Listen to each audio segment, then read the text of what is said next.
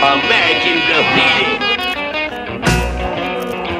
Hi, I'm uh, Stan Lee Womack, and we're here to sell uh, my uh, American Graffiti cars. I saw the movie, and I said, you know, I, I want to have some cars like that. American Graffiti movie tribute cars. 43 pound deal orders. 43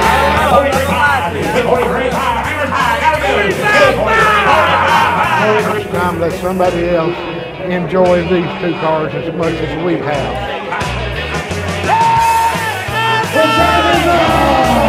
Return of the dog. 46 5. Number one. All right, let's go to 76.2.